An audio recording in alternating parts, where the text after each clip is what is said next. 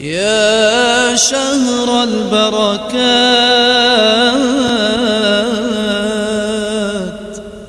يا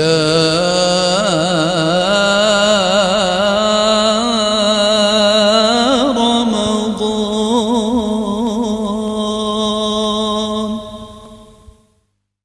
حضرت علی کرم اللہ وجہو کے اقوال کے ضمن میں چند ایک اقوال آج پھر آپ کے سامنے پیش کرتا ہوں۔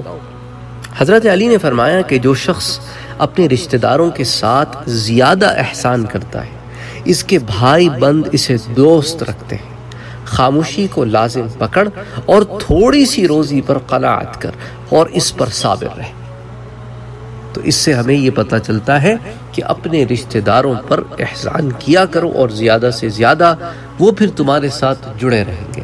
ہاں بعض رشتہ دار احسان فراموش بھی ہوتے ہیں، لیکن تم نے تو نیکی کرنی ہے۔ اور اس لیے نیکی نہ کرو کہ تمہارے رشتہ دار تمہارے احسان مند رہیں۔ نیکی کرو اللہ کے لیے۔ لیکن اس کا نتیجہ حضرت علی رضی اللہ تعالیٰ عنہ نے یہاں بتایا اور کہا کہ دیکھو، خاموشی کو لازم پکڑو اور تھوڑی سی روزی پر قناعت کرو اور اس پر صبر کرو۔ پھر فرمایا ایک جگہ کہ کچھ مانگنا ہو تو ایسے شخص سے مانگو جو دے کر بھول جاتا ہے۔ اور اگر کسی کے ساتھ احسان کرنا ہو تو ایسے شخص کے ساتھ کرو جو اس کو یاد کرتا اور دہراتا ہے۔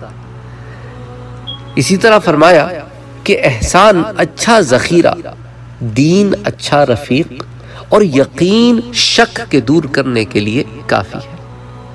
اسی طرح فرمایا، انسان کے ساتھ جب تک کہ احسان نہ کیا جائے، وہ کبھی غلام نہیں ہوتا۔ پھر فرمایا کہ بہترین صفات ایمان، احسان کرنا اور بدترین خصلت ظلم ہے۔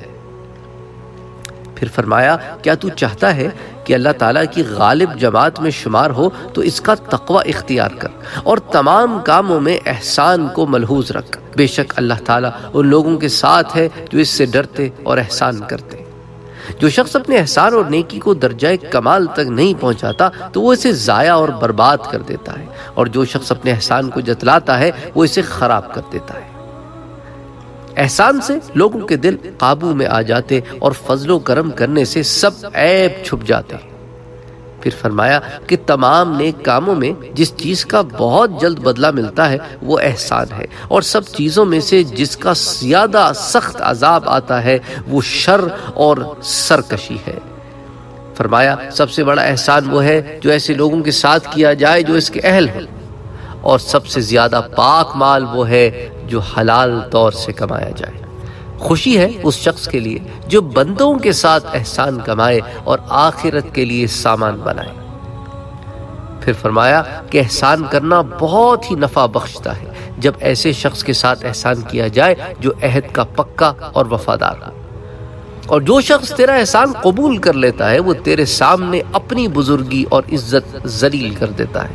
جب تو کسی کے ساتھ احسان کرے تو اس کو مخفی رکھ اور جب تیرے ساتھ کوئی دوسرا احسان کرے تو اسے ظاہر کر جو شخص اپنے بھائیوں کے ساتھ احسان اور نیکی کرتا ہے، وہ اس سے ہمیشہ دوستی اور محبت کرتے ہیں۔